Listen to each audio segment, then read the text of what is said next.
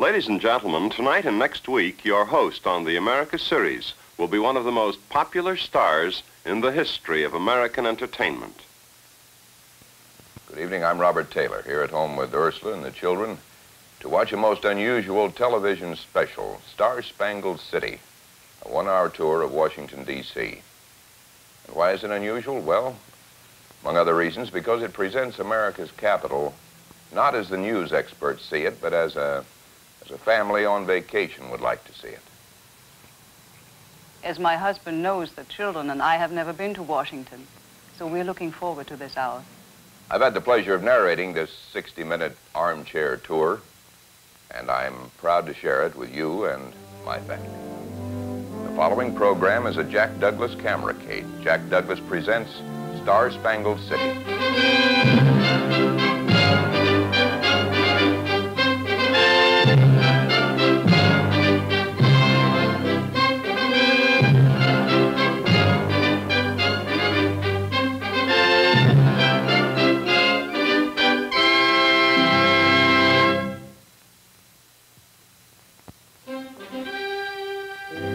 House, the hill, the shadows of three.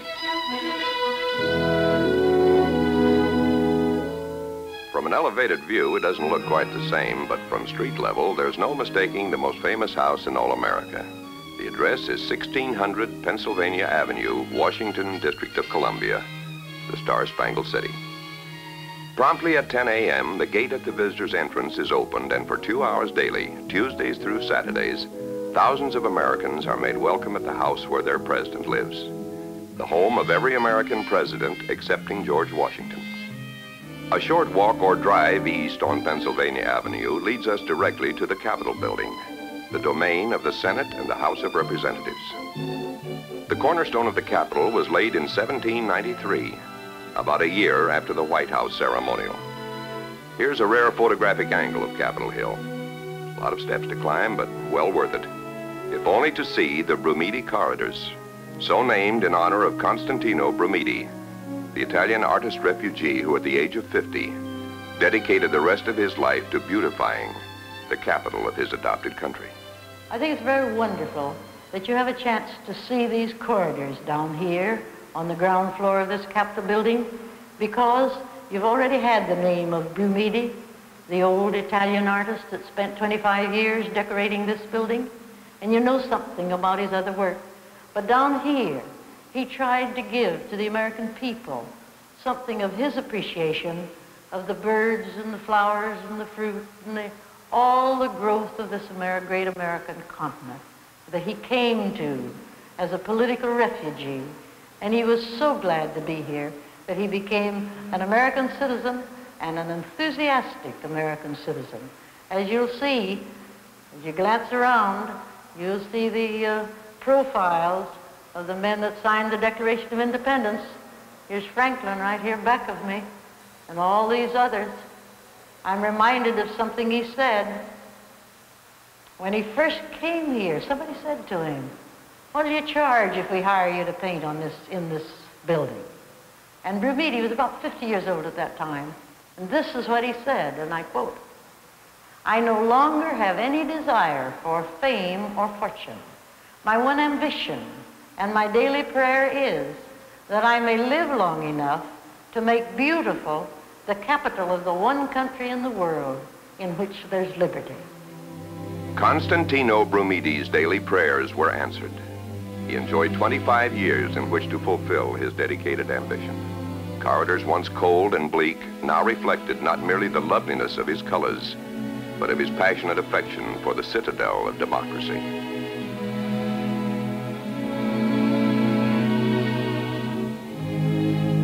We're looking now at the small tidal basin bordering the Potomac, and at the edge of the basin, a grateful nation dedicated this memorial building in honor of one of its greatest presidents.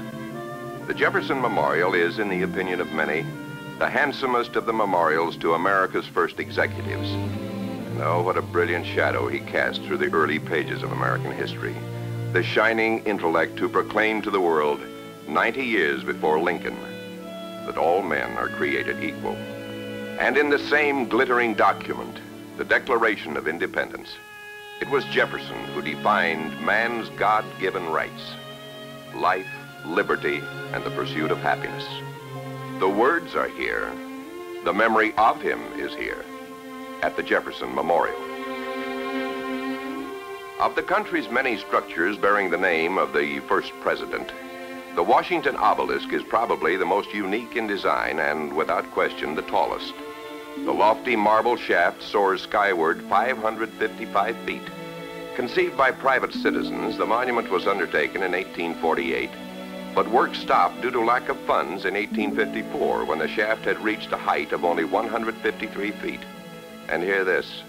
The project was not resumed until 26 years later, when federal funds were finally available. Inside the obelisk are 189 stone plaques or markers, tributes to the father of his country from cities, states, and even numerous foreign countries. But it is Lincoln, more than any 18th or 19th century president, whose spirit dominates the Star-Spangled City. One reason may be that only Lincoln, of the martyred presidents, met his tragic death in the capital city. Here at what was once known as Ford's Theater, and which later became a museum. This is a copy of the billboard for that black 14th of April, 1865. Ironically, the play was a comedy. Loads of laughs. The presidential box looked like this just before Mr. and Mrs. Lincoln arrived at the theater. When the box was not in use, it was kept under lock and key. These very keys. The pistol was hardly bigger than a toy. It was big enough. The mortally wounded Lincoln was rushed to a house across the street from the theater. It would evermore be known as the house where Lincoln died. A handful of the selected few maintained the solemn vigil through the night and the early morning hours. But the actor-assassin had played his part too well. In this room, at 22 minutes past 7 a.m., God reclaimed one of his noblest creations.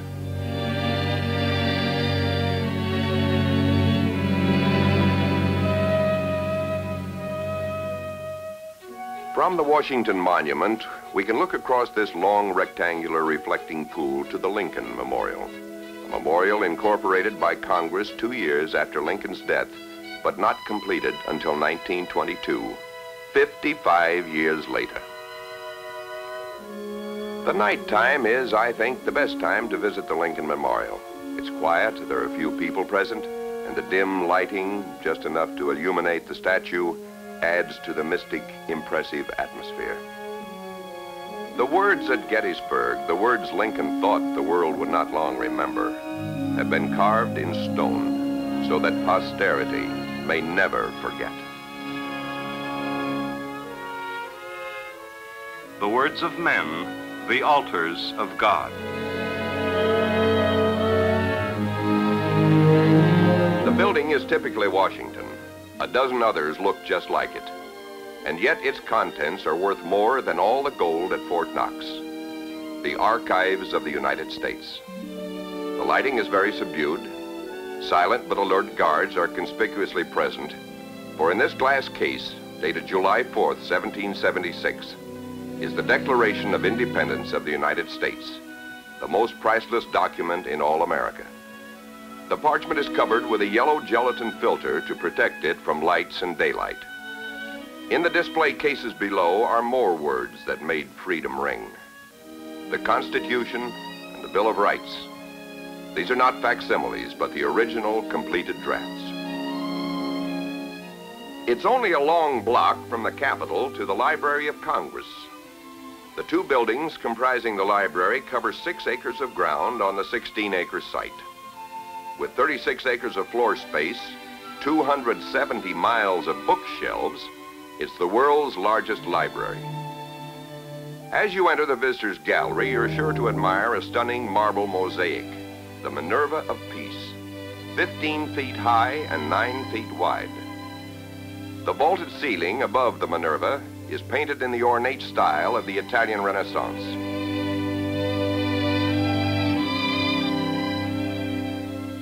We all know of the 500-year-old printed Gutenberg Bible, and this is one of the three perfect copies in existence. But two years before Gutenberg, The giant Bible of Mainz was already in progress. Entirely hand-lettered, the Bible is the work of a single master scribe. He worked at his dedicated task for 15 months, and when he was finished, the illuminators, as they were called, took over and illustrated many of the pages. Truly a monumental work, the giant Bible of Mainz. At the National Archives, we saw the completed draft of the Declaration of Independence, but the very original draft, composed by Thomas Jefferson, is here at the Library of Congress. Most of the changes were suggested by Benjamin Franklin and John Adams. This now is Washington's own handwriting, his first inaugural address. From the pen of Lincoln came one of mankind's great documents, the Emancipation Proclamation, ending with the memorable words, and forever be free. More from Lincoln. The first draft of his Gettysburg Address. Note that in this draft he struck out to stand here, substituting, we here be dedicated. And again Lincoln, his second inaugural address, and one of the sweetest, noblest phrases ever spoken by mortal man. With malice toward none, with charity for all. Yes, it's a house of words, this Library of Congress. Words that men live by and cherish more than life itself. It will come as a surprise to most of us that America has a national cathedral. It is known simply as the Washington Cathedral, and though the foundation stone was laid in 1907, the cathedral is still unfinished largely because no official funds are allocated to it. It is being built and maintained by donations from we the people. This impressive interdenominational house of worship is unique among the world's cathedrals in this respect. It does not have a congregation of its own. There are eight stone carvers in the country who are skilled in the Gothic style, and all eight are employed at the cathedral.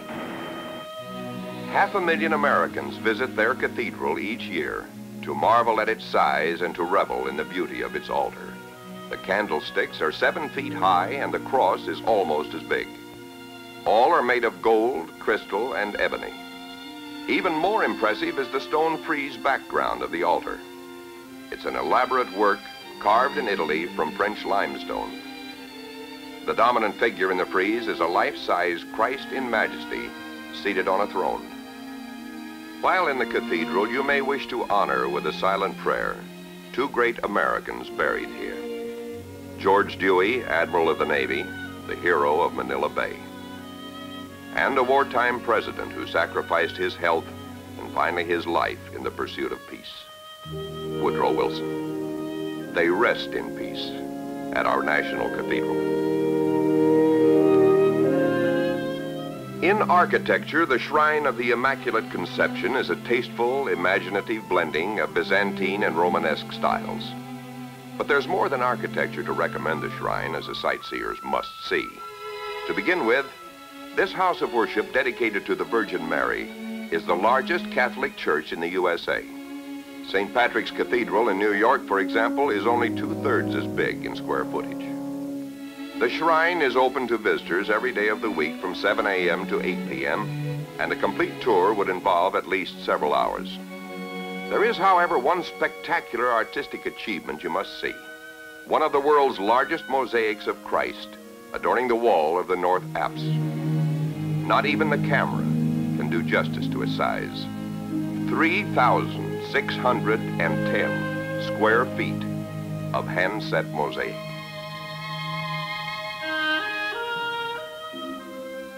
This romantic-looking mosque, strongly reminiscent of the Middle and Far East, has been called the Pride of Islam, and we know it as the Islamic Center, a monument to Islamic culture as well as a house of worship. 21 Muslim countries support the center. Allahu Akbar, Allahu Akbar. Allahu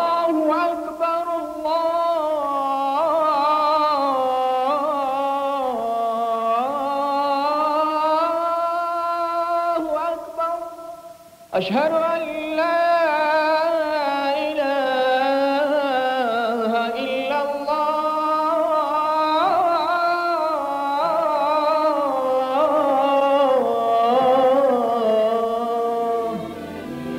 The prayer call is followed by a reading from the Koran, the Muslim Bible. ولقد آتينا داود وسليمان علما وقال الحمد لله الذي فضلنا على كثير I imagine everyone who travels, whether at home or abroad, likes to discover sightseeing bargains. Well, in the Star-Spangled City, one of the most impressive tourist attractions is possibly the least publicized. We'll see it for ourselves in just a few moments. Star-Spangled Bargain.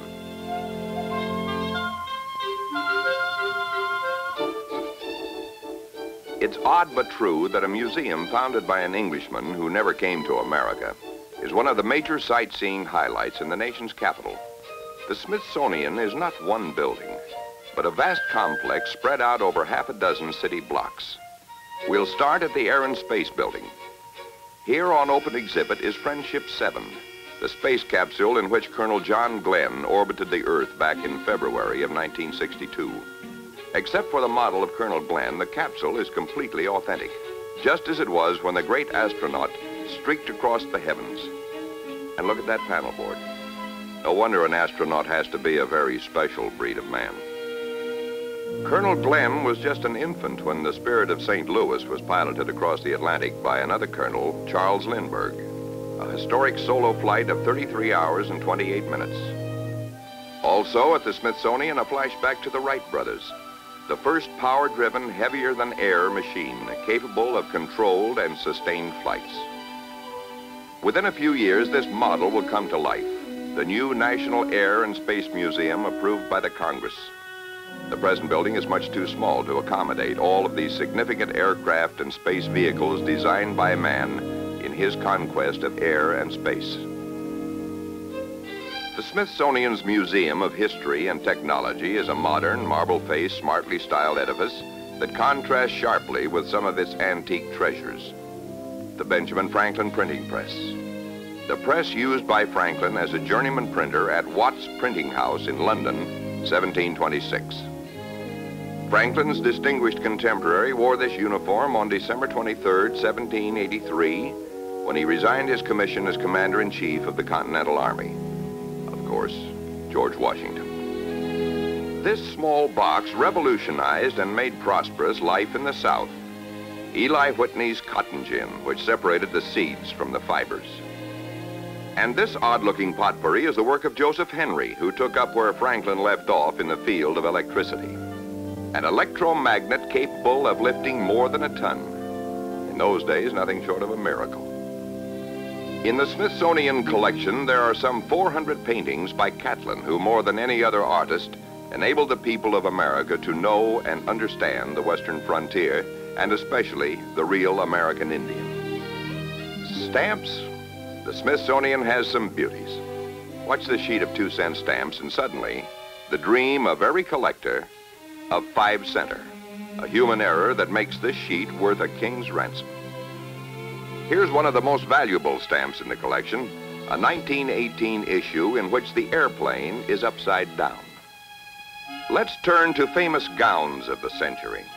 In a replica of the East Room of the White House are these gowns worn by our first ladies from 1921 to the present time. And still on a political vein, the campaigns of the past are on review in the nostalgic Hall of Historic Americans. Old Abe, sold to the voters as the Prince of Rails. Henry Clay, U.S. Grant, Bryan, the perennial hopeful, Tippecanoe and Morton, too, Sound Money and McKinley, Teddy Roosevelt, the Rough Rider, a memory lane of presidential political campaigns. The National Gallery of Art is also a bureau of the Smithsonian. Private citizens have joined the gallery in harvesting the fruits of Western man's artistic genius. For example, Van Eyck, The Annunciation. Raphael's The Alba Madonna. El Greco's Laocoon, a priest of ancient Troy. Now the great Rembrandt and his self-portrait. And this is Vermeer's Girl with a Red Hat.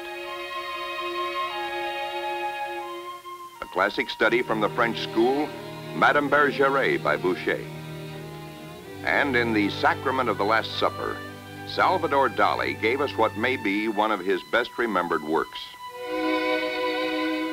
These and hundreds of other masterpieces constitute one of the finest art collections in the world. And it's yours to be shared whenever you wish at the Smithsonian's National Gallery of Art. The Museum of Natural History is yet another impressive branch of the Smithsonian Group. It's a storehouse of wonders. We'll start with this creative interpretation of the feathered serpent columns at the Pyramid Temple the Toltec Maya people at Chichen Itza in Yucatan. If you're a student of geography and anthropology, you'll have no trouble identifying this monumental statuary, one of the many mysteries of faraway Easter Island. The sacred dance dramas of India are symbolized by this figure of King Bali, the virtuous, heroic Hindu animal god, forced into exile because of the jealousy of Lord Vishnu, guardian of the universe. In these dance dramas, the actor and the character he portrays are believed to become as one as a result of intense mental concentration. Our own American Indians are portrayed in this tableau, the Hopi Snake Dance, a primitive prayer for rain in which the Hopi priests used live rattlesnakes. The snakes were considered sacred messengers that could communicate with the rain gods. The animal exhibits are incomparable. This one, a collection of typical African species, is merely window dressing for what follows. An African bush elephant, the biggest in recorded history.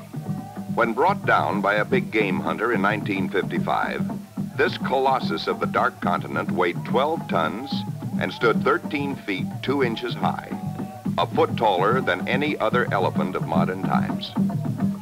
A 92-foot model of the blue whale takes up the better part of an entire exhibit hall. The blue whale is the largest mammal in existence today and possibly the largest that has ever existed on the planet.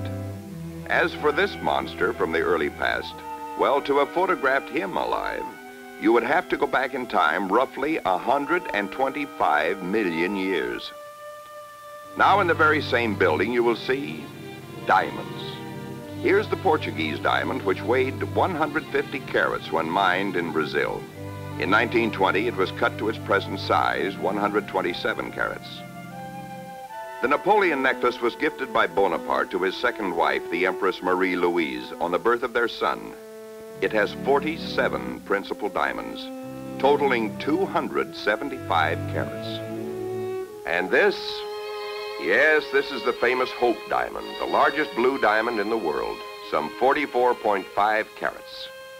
Diamonds, wildlife, primitive customs, priceless art treasures, historiana and political hysteria, space capsules, stamps, statuary.